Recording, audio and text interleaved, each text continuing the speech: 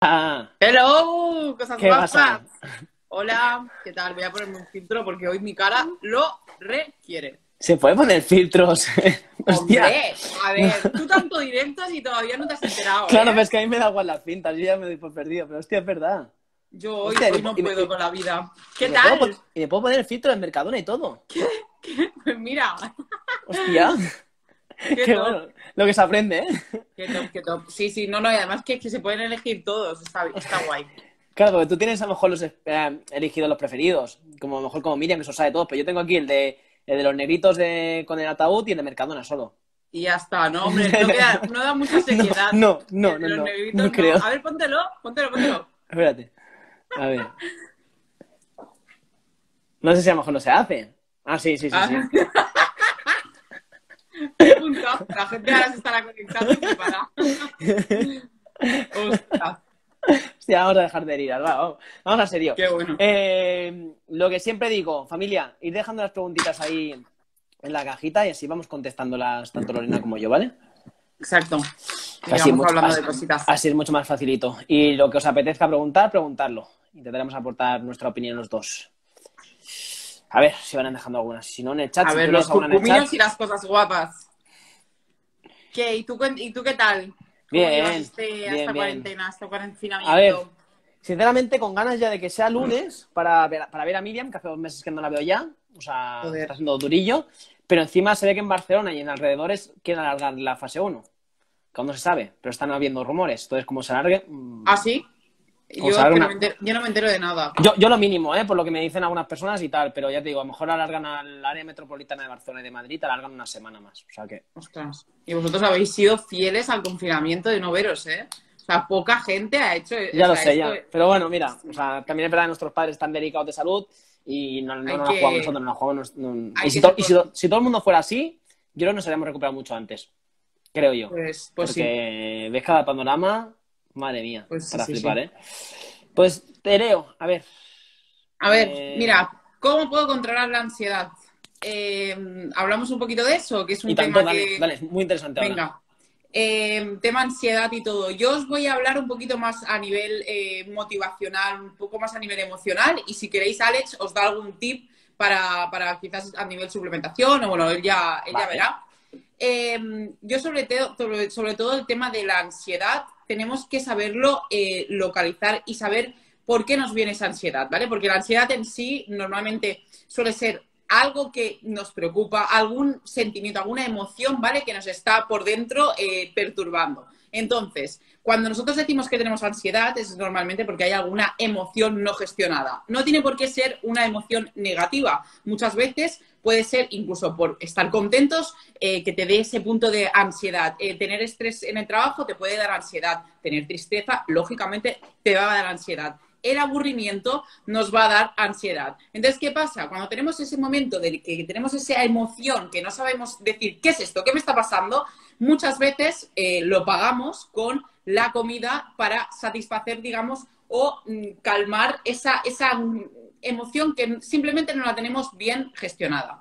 Entonces, ¿qué pasa? Pues que en ese momento empiezas a comer y eh, suele haber las conductas estas, ¿no? De perder un poquito el control. Mirad, y yo justamente hoy en mi, en mi Instagram os lo he comentado, que ayer me pasó algo así. Y no tenía para nada ni un mal día, ni tenía, no, simplemente estaba estresada y a veces ese estrés me provocó que eh, mi apetito se aumentase y para, bueno, de manera, yo sentí que tenía más apetito que probablemente no fuera ni, ni real. Entonces, ¿qué tenemos que hacer como consejo? Analízate, ¿qué sientes? ¿Es hambre de verdad? Porque puede ser que sea una, que tu cuerpo de manera natural te esté pidiendo comida, que a veces también pasa si no hay una buena alimentación de base. Pero eh, analízate bien, ¿vale? ¿Realmente es hambre real? ¿Me como ahora una manzana, un plato de pollo con unas espinacas y me va a saciar? No, no, me apetece chocolate. Eh, frena. Eso de aquí ya no, no es hambre porque tu cuerpo no te puede pedir chocolate. Entonces, en este momento, analízate, ostras, pues mira, justamente no tengo un día, un buen día, tal, no sé qué, no sé cuánto. Ocupa tu tiempo, porque el aburrimiento muchas veces te va a dar esa sensación de, de, de ese vacío que lo vas a querer llenar con comida. Sobre todo, haz algo que sepas que te entretiene, que te, que te mantiene la cabeza ocupada y de esa manera evitarás caer en ese punto de, de la ansiedad. Y, y, bueno, y dejo, porque yo me enrollo aquí a hablar. Y no, no, no, pero está perfecto, porque es que has explicado la diferencia entre hambre y ansiedad. O sea, el tema de quiero comer lo que sea rápido, chocolate, azúcar, tal, y el hambre real, que el hambre real a lo mejor muchas veces incluso se confunde con sed. Y luego has explicado muy bien, porque yo puedo decir ahora, diré los suplementos que más evidenciados están para ello, pero si no curamos en salud y no quitamos eso que provoca esa ansiedad, bueno, sí, puedes poner un parche, puedes poner una tirita a la herida, pero es que si te lo sigues haciendo el daño, sigues haciendo el daño y no descubres el porqué, que es lo que has dicho, o sea, que es básico, pues bueno, vamos dando suplementos sin un porqué, sin solucionar el mejor problema, que a lo mejor el problema es que a lo mejor estás comiendo muy poco, o a lo mejor es que eso, que tienes mucho estrés. Entonces, ¿vamos a dar con ese estrés o vamos a dar con eso? Entonces, como suplementos para bajar el estrés cuando ya hemos intentado actuar por todas partes, la ashwagandha y, el magnesio principalmente. Uno es más sistema nervioso central y otro es más muscular, pues un relajante. Entonces, son de la ayuda, pero es que lo has dicho perfecto. Si no tratamos el problema, la causa, el origen de todo, podemos dar muchos parches, pero si no correcto, correcto. Y también, otra de las, de la, yo muchas veces os doy tips, ¿no? Para, para poder discernir ese hambre real de ese hambre emocional, ¿no? Que, que, por ejemplo, el hambre real puede esperar tú, por ejemplo, si sales de, de, la uni o sales del trabajo y tienes, sales con hambre, pero tienes ese periodo hasta llegar a casa y prepararte la comida, poder hacer, eh, cocinar tus alimentos y comer, y, a lo mejor tienes hambre, pero ese hambre puede esperar, porque la podemos domar. El hambre emocional es ese que te aparece en un momento con un vacío aquí que tienes que llenarlo sí o sí y tienes que hacerlo en ese momento y, eres capaz de, de, no tener que cocinar y de coger cualquier cosa para cubrir ese, ese punto de hambre. Entonces, esa señal analízala y, dices, ostras, pues esto no es hambre real. Entonces, mm, es otro de los trucos, ¿no? Aparte de lo de la, típica de la manzana, ¿no? Si me como una manzana ahora, pero también es eso, es un hambre repentina, es, es rápida y viene y, tienes que saciarla. Y lo que decía yo antes, que no sé si te pasará, pero que muchas veces confundimos el tema de la sed con el hambre. Totalmente. dices, mm, bébete un par de vasos de agua, o bébete agua, y a veces confundimos mucho. Y tienes ese vacío aquí y dices, ostras, es que a lo mejor simplemente con hidratarte y tener esa sensación de, estar lleno, eh, lo, lo, cubres, ¿no? Y eso, por ejemplo, en preparación, eh, beber agua es esencial. Estar todo el día hidratado y, dices, ¿qué es esto? ¿Es hambre o es sed? Yo, por si acaso, bebo y así lo cubro.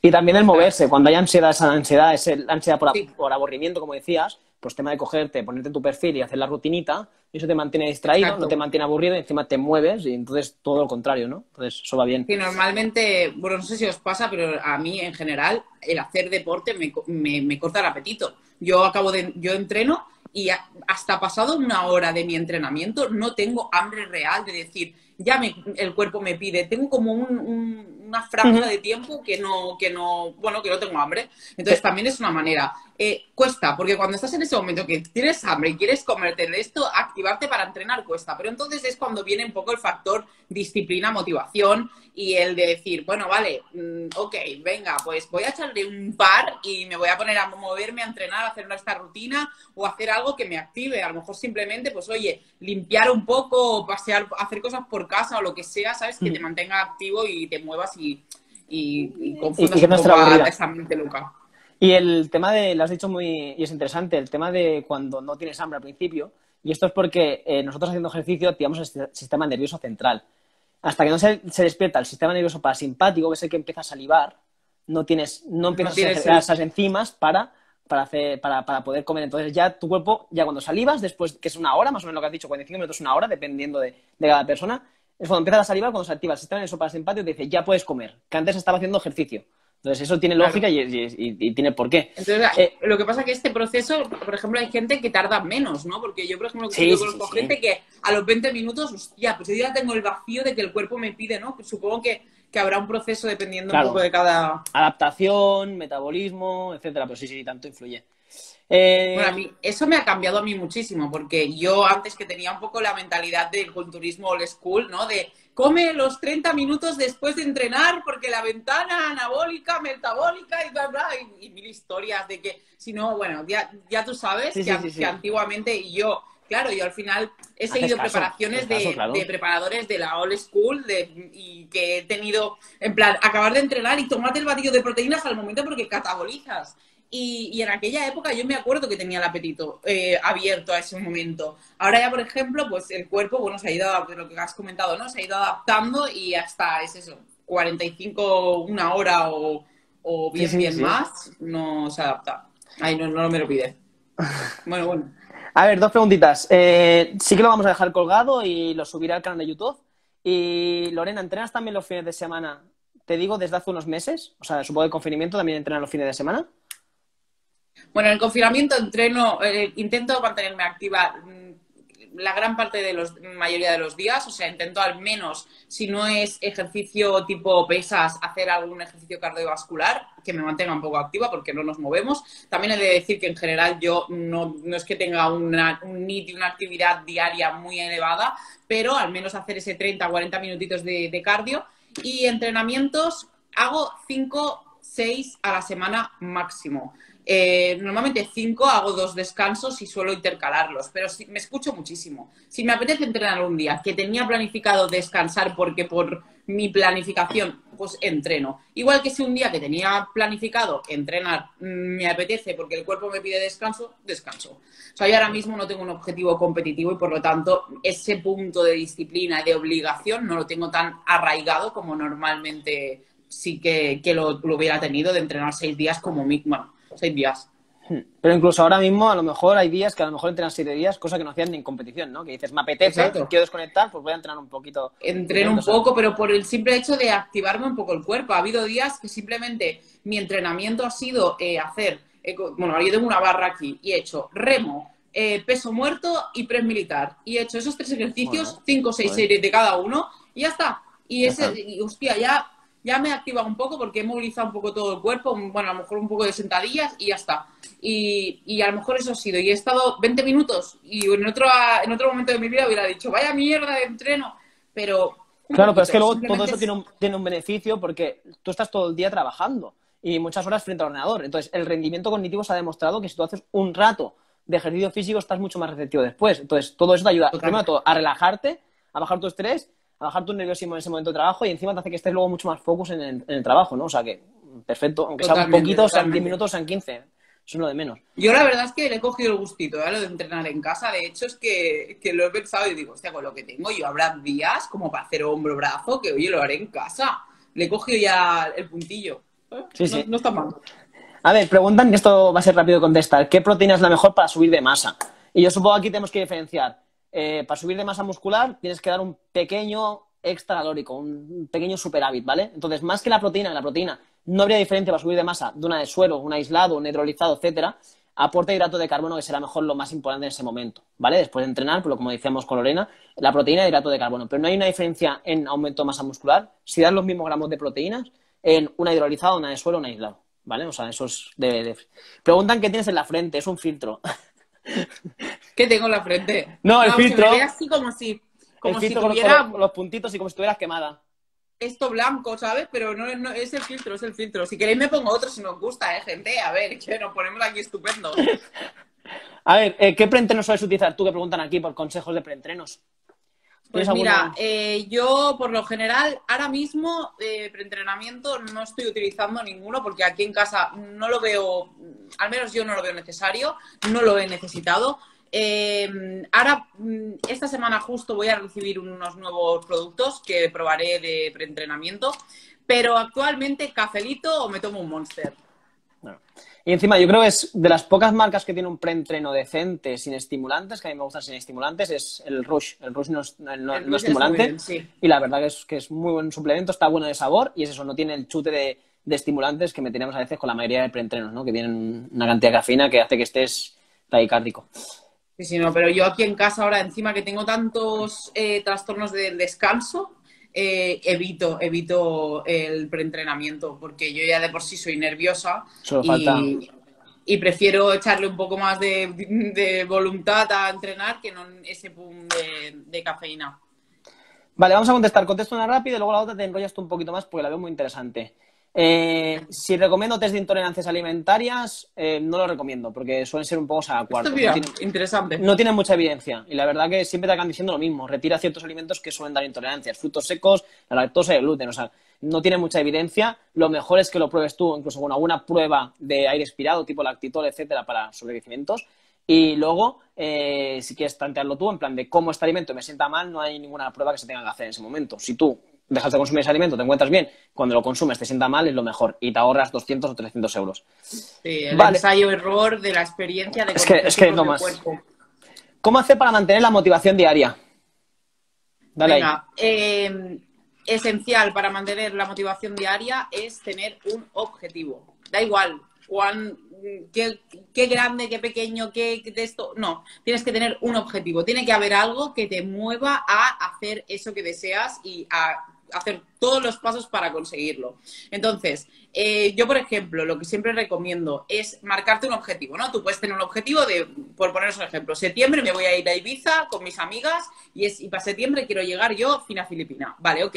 Tú tienes ese objetivo, vamos a llamarlo maxi objetivo. Entonces, para llegar a él, vas a tener que ir dando pasitos, pasitos, pasitos para cada vez estar más cerca y conseguirlo, ¿no? Entonces, esos pequeños pasos los vamos a llamar mini objetivos, que van a ser pequeñas metas a corto plazo de fácil, eh, que sean fáciles de conseguir, ¿vale? O sea, ya no me digan, vale, el objetivo son perder 20 kilos, pues quiero perder 6 eh, kilos esta semana. No, metas pequeñas, pequeños cambios en tus hábitos, ¿vale? Que te sea fácil cumplirlos y que poco a poco vayan alimentando tu motivación. ¿Por qué? Vas a marcarte, por ejemplo, vale, pues esta semana voy a hacer 10.000 pasos y beberme 3 litros de agua. Ponte el ejemplo, ¿vale?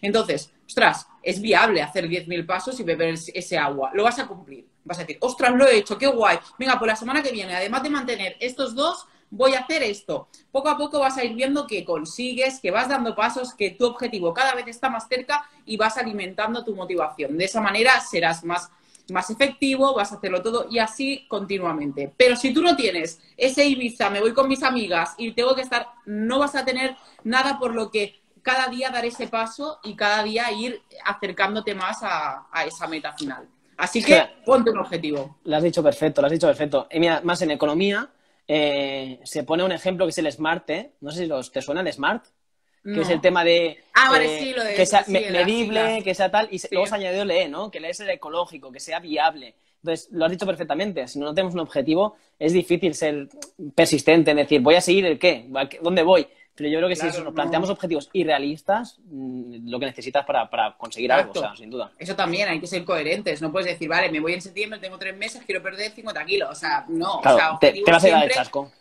reales, ¿vale? Que sepas que, puedes cumplir y, y, es eso, que Obviamente que al inicio, cuando empiezas cualquier objetivo, cualquier cosa, hasta que no generas ese hábito, ese, adquieres ya ese, hábito en tu cuerpo, va a haber un proceso que vas a tener que, ser disciplinado, disciplinada, vas a tener que echarle un par, ¿vale? Y decir, vale, ok, pues me tengo que poner y sí o sí, y venga, y venga, y obligarte que al final eso es fuerza de voluntad, que es algo que tenemos todos, que eso no te viene innato, ¿no? O sea, se va trabajando. Bueno, pues eh, hay que luchar por lo que queremos, porque si no es que eh, nada de es que nada viene de regalo y de verdad, o sea, hay que eh, trabajárselo y, no es fácil, obviamente. Y tendrás momentos que caerás, pero aprenderás y bueno, y poco a poquito pues ir consiguiendo todo. Correcto, correcto. nada se regala. Yo creo que el tema de la suerte, esta suerte te vienen cosas, mm, tú y yo sabemos que, no. Nada.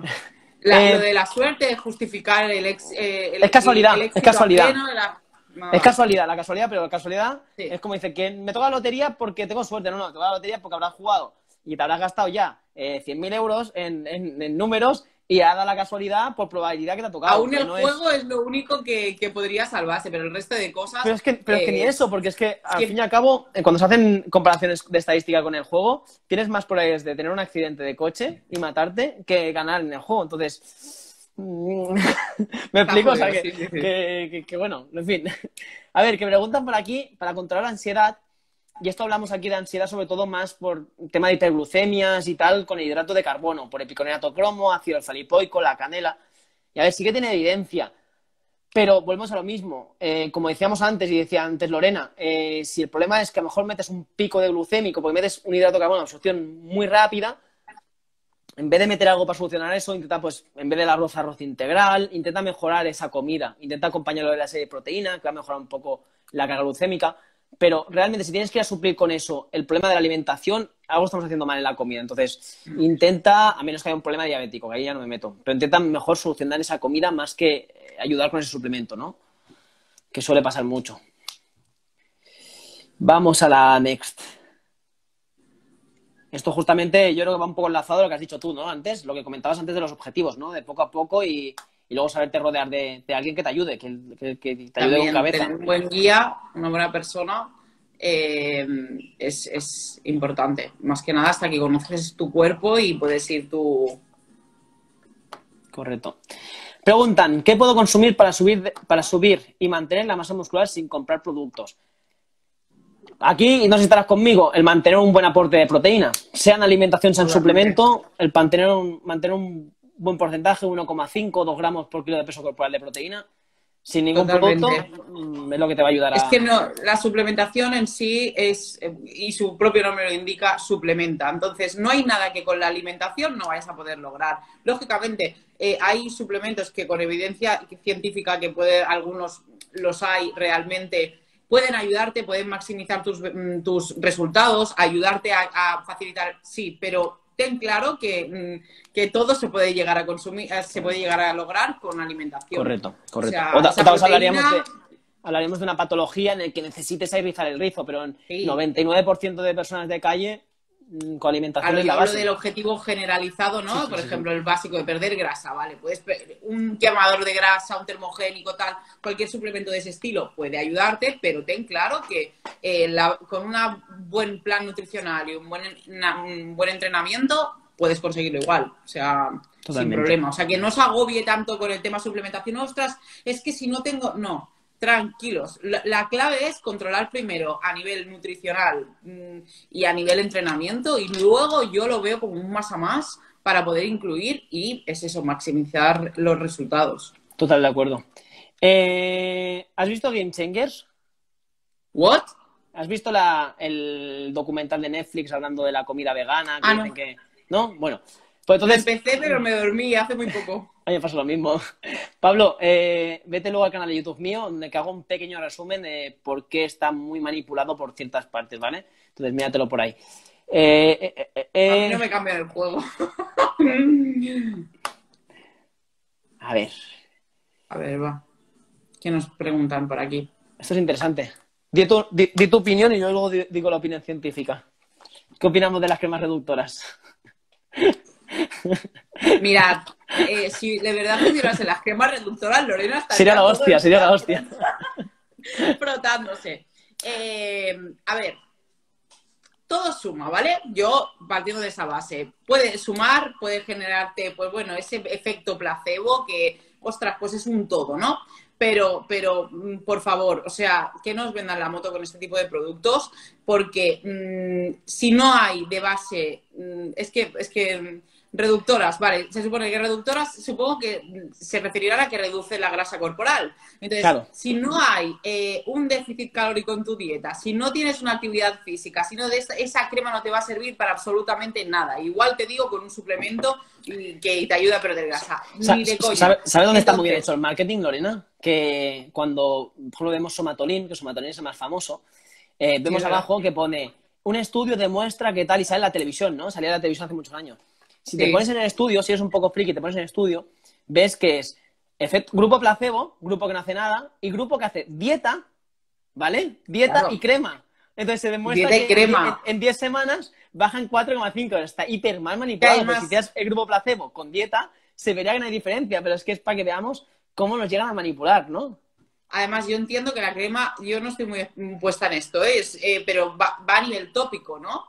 Entonces, claro, lo, que hace la crema. Se absorbe. No, no, no, para nada, para nada, no tiene ninguna función. Simplemente lo que hace es como una fisiocrem, hace un efecto calor y entonces eso juegan con dos, con dos factores.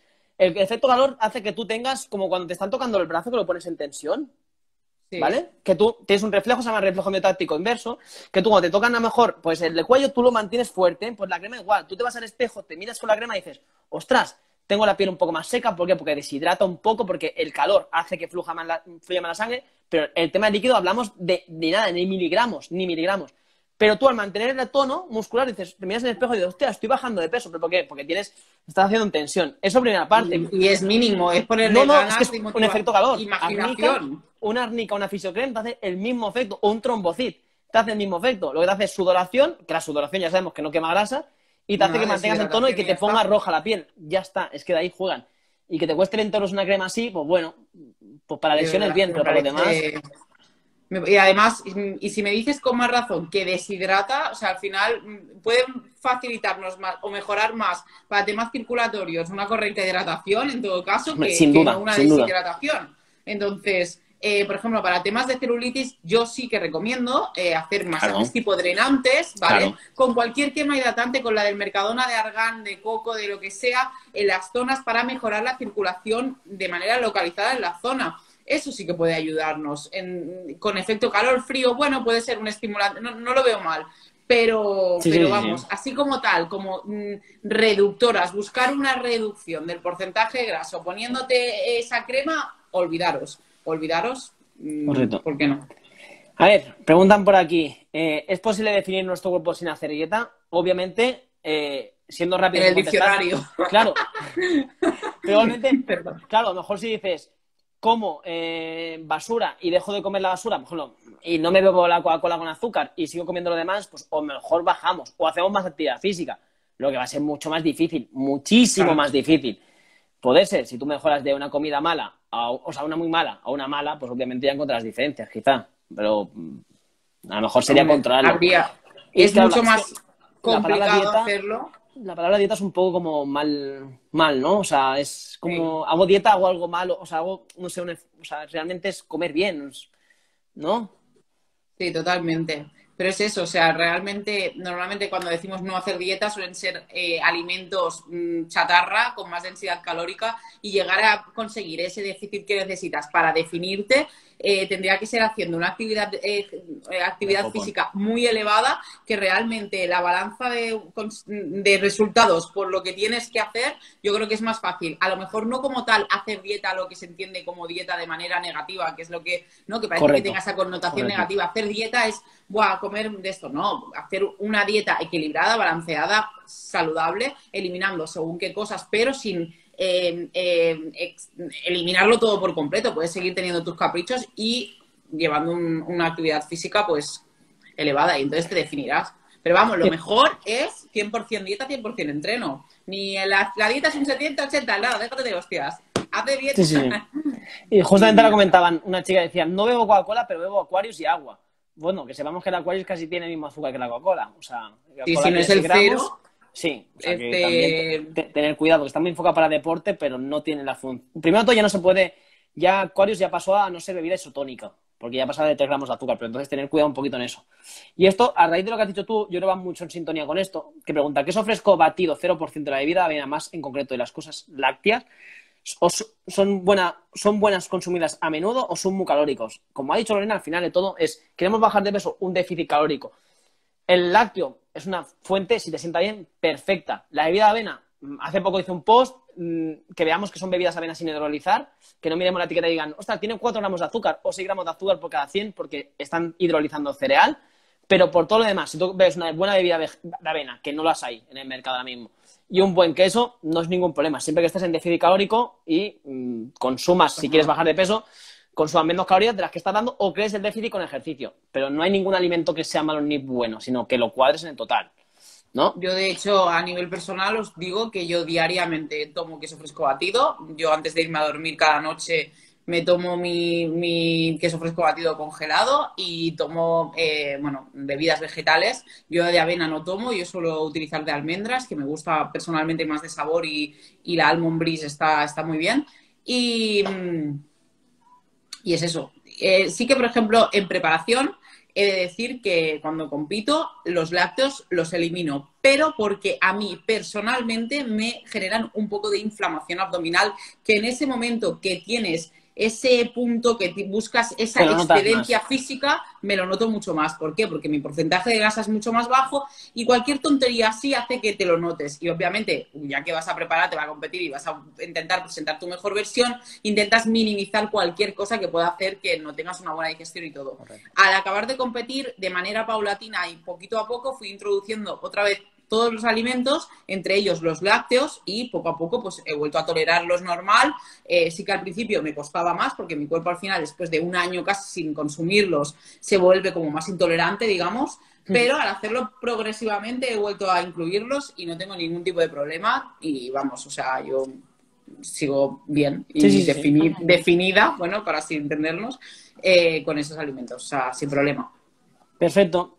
Mira, ah, enlazamos dos preguntas el, creo que el directo anterior comenté que, que el tema de, no pasarse de dos cafés al día, porque hay gente a lo mejor que dice, es, bueno el café, me tomo, me tomo cinco, ¿no? Entonces los estudios dicen que a partir de dos ya no deja tener beneficios, ya no es que sea malo, sino deja tener los beneficios, ¿no? Me voy. Hasta luego. Esta me voy. Aquí vale, soy super bad influencer. cambio rápido. Y ponían tema de No, no, es broma. A ver, yo, yo yo por eso no me gusta decirlo de que soy influencer, porque yo no quiero, hay cosas, yo en eso soy, soy horrible. Yo pero es, que, pero es que nadie es perfecto, a ver, o sea, que, que enseñemos solo la cara perfecta es, falsísimo, es falsísimo. Algún fallo teníamos que tener. Ay, no, pero sí que es pues verdad, yo consumo, consumo bastante café. Es, es, un, es algo mío que... ¿Pero cuántos son muchos? Eh, intento, la gran mayoría los intento que sean descafeinados, que sé que, igualmente aportan cafeína, pero intento reducir. Pero bueno, pero hablamos de un 0,1, un 2%, o sea, es muy poquito. Si tú realmente me dices, me tomo dos cafés normales, que es a lo que iba, junto con esta pregunta del tema del té y tal, si el té es bueno y el café es bueno, son buenos, pero si tú te tomas dos cafés y lo demás lo tomas descafeinado, el único problema que puedes tener es que a lo mejor, mm, si te pasas dos en plan que me, te tomaras seis o siete cafés al día, primero todo, tiene mucha fibra, te puede laxar, ¿vale? Puede hacer que vayan más fácil al baño. Eso no sería un problema, ¿no? ¿Vale? Chicas. y, el, segundo realmente es eso, simplemente que acidificamos mucho, es muy ácido, entonces si tú a lo mejor tienes un poco de acidez estomacal y metes mucho, pero si no tienes ningún problema de eso, si tú metes dos con estimulante y el, lo poca cafeína que puedas añadir con un café descafeinado, bien descafeinado, es lo mismo que puedes añadir con el chocolate.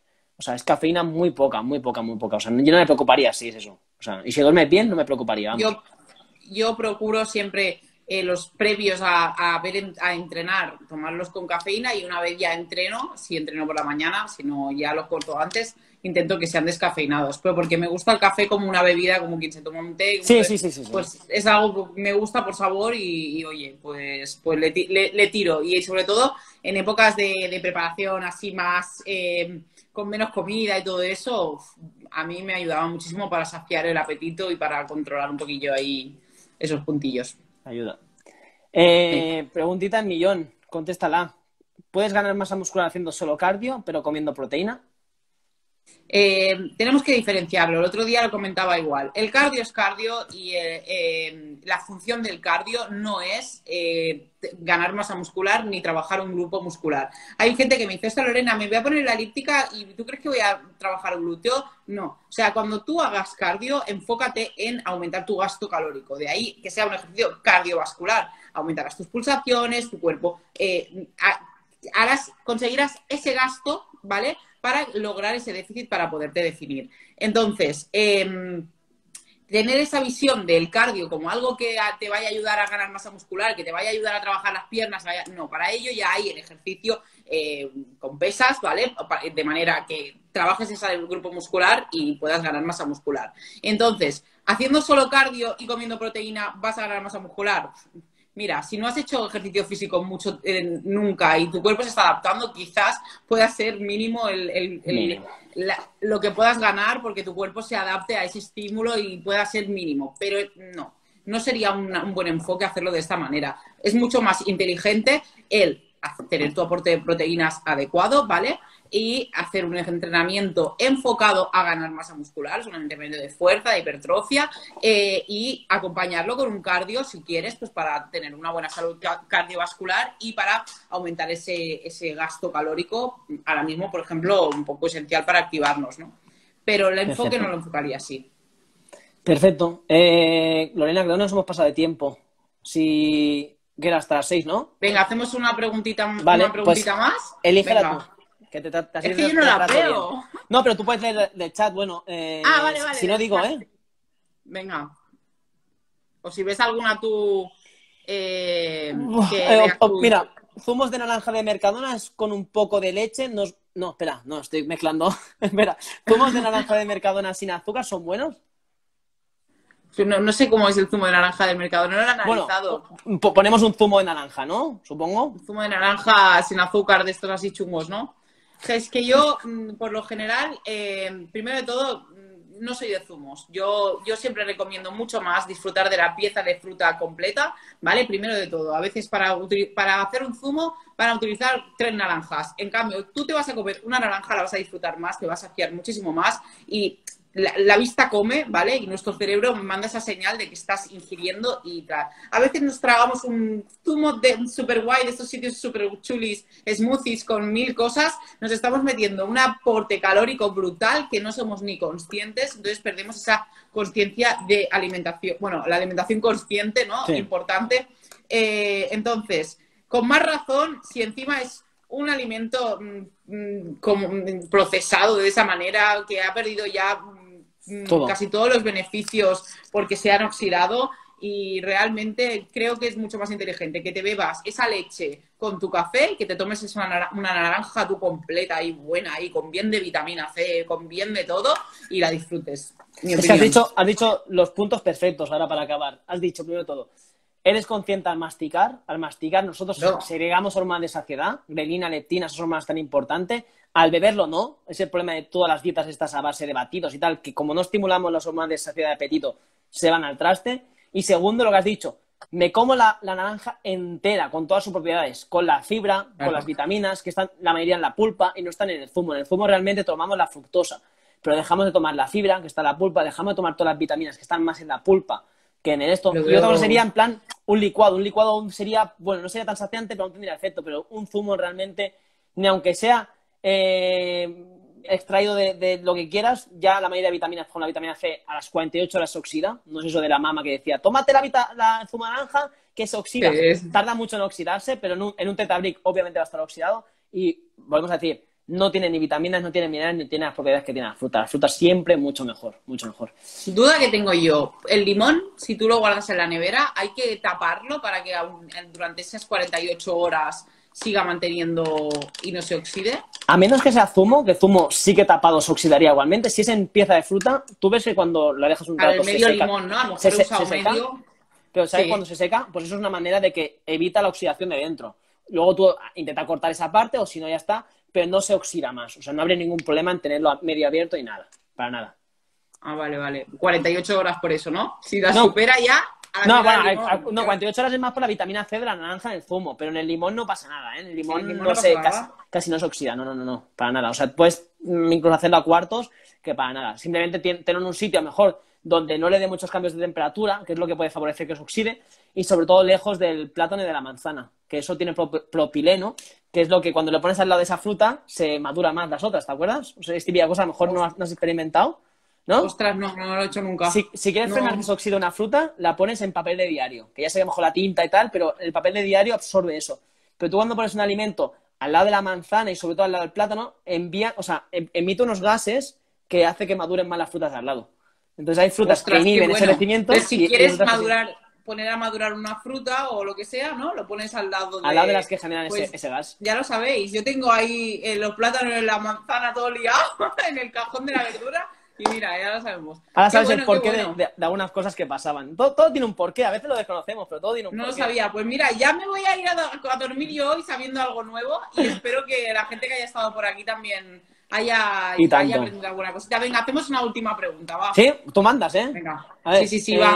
mira. Es que ya me he animado. Esto va a raíz del otro. Si se congela un plátano, por ejemplo, y luego se tritura, se pierden las propiedades. Y esto justamente hice un, un pequeño vídeo para Antena 3 en noticias que explicaba el tema de los congelados. Congelados siempre se ha tenido un poco de... Se ha estigmatizado, no se ha dicho, uy, qué malo es, qué malo es. Y vemos la mayoría de veces que pierdes como mucho un 5% de vitaminas. Sí que es verdad que mejor comprar fresco, mejor comprar local, mejor comprar a la persona de cercanía. Vale, pero ahora en confinamiento que tenemos que evitar salir siempre, Pues bueno, Claro. tirar de congelados que pierdes, no pierdes nada de cantidad de vitaminas, porque un 5% es, incluso cocinando vas a perder más, pues no tenemos problema. ¿Me explico? Sí, tal cual. El otro día lo comenté yo, que enseñé mi selección de verduras favoritas así de supermercado congeladas. Yo, mm, es verdad que durante la, la vida normal, ¿vale? Intento comprar fresco, pero sí que, hay, sí que hay muchas veces que a lo mejor se me acumulan días sin poder ir a comprar y a mí el Ya, hecho eso. de tener en mi congelador verdura congelada, que tanto puede ser verdura que compres ya cortada y congelada, como, como en tu. Cortarla y hacerte tus, tus eh, batch cooking, de prepararte tus raciones de, de verdura congelada y ponerla luego a hacer. Pero la congelación no es más que un método de conservación, igual que la sal, igual que muchos otros, ¿vale? Igual que el refrigerado, lo único que tiene una, una, una caducidad mayor. Entonces, eh, igual que a Walt Disney lo congelaron para mantenerlo ahí, pues a la verdura la congelamos y ¿qué vamos a perder? Nada. Entonces, a mí, sinceramente, me resulta muy, muy, muy práctico congelar y lo hago así. Y yo directamente las verduras congeladas lo que hago es las saco del congelador y directamente con la sartén caliente las pongo a hacer. Entonces, es facilidad. Si una persona tiene que elegir entre alimentarse mal a base de frescos, eco, bio y todo el mm, súper del huerto y todo, a alimentarse bien, pero congelado, tirando un poco de practicidad. O sea, tira de verdura congelada, cortada tanto. y, venga fuego, ¿sabes? Y tanto, Eh, y tanto. Es así.